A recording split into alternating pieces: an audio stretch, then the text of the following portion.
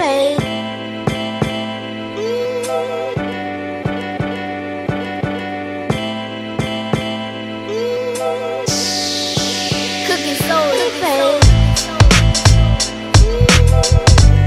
Hey guys welcome back to my channel আজকে আমরা যাচ্ছি হচ্ছে লে লেটিজিয়াতে তো ওখানে মানে চাইনিজ ইটালিয়ান সমস্ত কিছু রকমের খাবার দাবার পাওয়া যায়।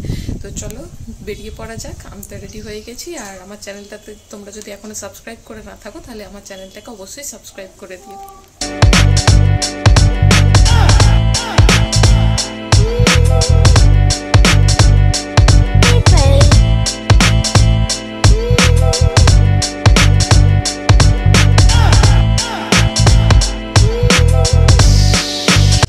কোয়েস্ট মল থেকে মাত্র দু মিনিটের দূরত্বই এই রেস্টুরেন্টটা রয়েছে। এটা একটা রুফটপ রেস্টুরেন্ট। তো একদম ওপরে তোমরা দেখতে পাচ্ছ লাল আর্টিসিয়া ক্যাফে অ্যান্ড রেস্টুরেন্ট লেখা রয়েছে। তো এই রেস্টুরেন্টটা ফোর্থ ফ্লোরে রয়েছে। প্রথমে লিফটে করে ফোর্থ ফ্লোরে যেতে হবে। তো ফোর্থ ফ্লোরেও তোমরা বসতে পারো অথবা সিঁড়ি দিয়ে ওপরে আর একটা ওদের রুফটপ এরিয়া রয়েছে। সেটা কিন্তু নন এসি। আর নিচে যে এরিয়াটা রয়েছে, সেটা মানে ইনসাইড যেটা এরিয়া সেখানটা কিন্তু এসি আছে। তো তোমরা, তোমাদের চয়েস এটা তোমরা নন এসি না এসিটা প্রেফার করবে, কিন্তু আমার মতে বলে রুপটপে বসলে তোমরা ভিউটা বেশ ভালো মতন পাবে।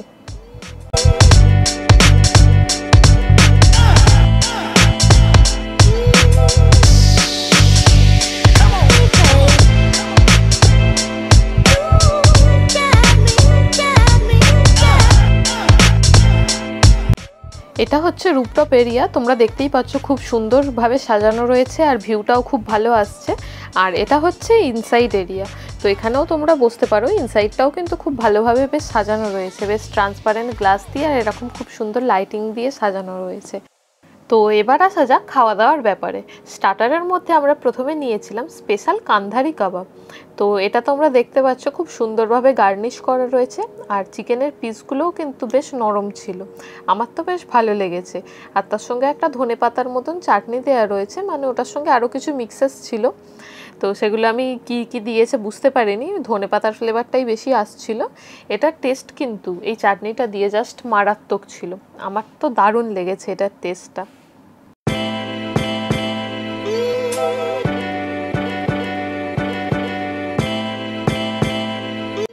তারপর মেন কোর্সের মধ্যে আমরা খেয়েছিলাম হচ্ছে পুদিনা নান আর মটন কুরচান। তো এই দুটোর টেস্টও কিন্তু জাস্ট অসাম ছিল। তবে মটনটা আর একটু সেদ্ধ হলে আমার ভালো লাগতো, কিন্তু টেস্ট নিয়ে কিন্তু কোনো কথা হবে না। আর এখানকার যা যা খাবার দাবার সব কিছুর প্রাইসই কিন্তু খুব রিজনেবল এই পুদিনা নানটা কিন্তু আমি প্রথমবার ট্রাই করলাম। তো পুদিনা নানের টেস্টটা কিন্তু জাস্ট অসাম ছিল। আর মটনটা তো জাস্ট অসাধারণ ছিলই, সেটা নিয়ে কোনো কথাই হবে না। আর এটাও হচ্ছে ওখানকার স্পেশাল ডিশ ছিল। তো এটা তো অবভিয়াসলি ভালো হতেই হবে। তারপর মকটেলের মধ্যে আমরা ট্রাই করেছিলাম মাউন্টেন মজিতো তো এটার মধ্যে বেদানা আর দু রকম লেবুর জুস দিয়ে বেশ একটা খুব সুন্দরভাবে প্রিপারেশন করেছিল। এখানকার মকটেলগুলো কিন্তু স্পেশালিটি মকটেলটা জাস্ট দারুণ করেছিল। আমার তো এই মকটেলটার টেস্ট অসাধারণ লেগেছে। তোমরা যদি এখানে যাও, মকটেলটা অবশ্যই ট্রাই করবে। তারপর আমরা ট্রাই করেছিলাম এই সার্ক বাইকটা তো এটার মধ্যেও একটুখানি কিছুটা পেয়ারা আর লেবুর জুসের ফ্লেভার পাচ্ছিলাম। তো এটার টেস্টটাও জাস্ট অসাম ছিল। তোমরা যদি যাও, অবশ্যই অবশ্যই করে কিন্তু এই মকটেলটা এখানকার ট্রাই করবেই, কারণ মকটেলগুলো জাস্ট দারুণ বানিয়েছিল। এছাড়া এখানে সিসাও পাওয়া যায়। আপনারা সেটাও ট্রাই করতে পারেন।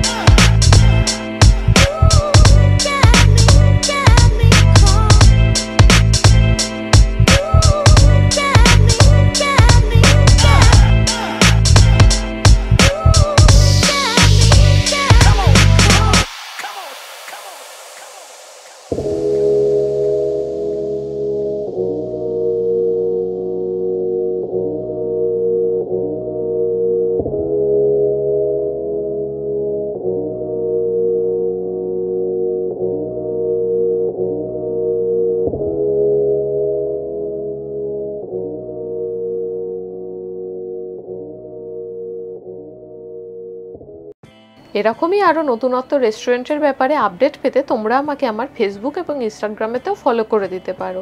লিঙ্কগুলো আমি ডেসক্রিপশন বক্সে দিয়ে দিয়েছি।